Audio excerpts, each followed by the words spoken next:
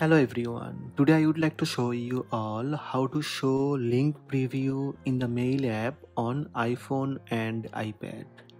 Let's have a look. Before we start, make sure you are using iPhone iOS 16 or later. First, copy the link you wish to insert in the mail app. Then open mail app.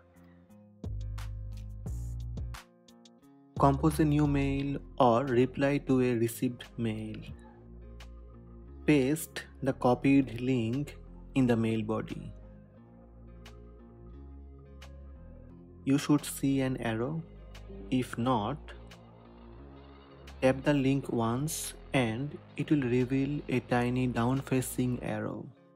Tap the arrow, then tap Show Link Preview.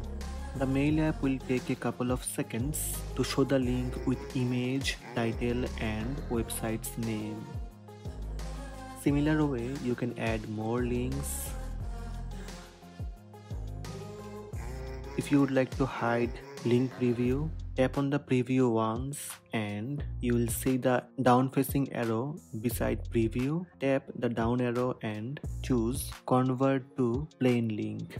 So these are the steps to show link preview in the mail app on iPhone and iPad.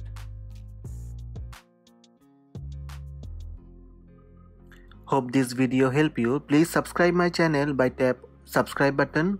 Also tap the bell icon to receive notifications about all new videos.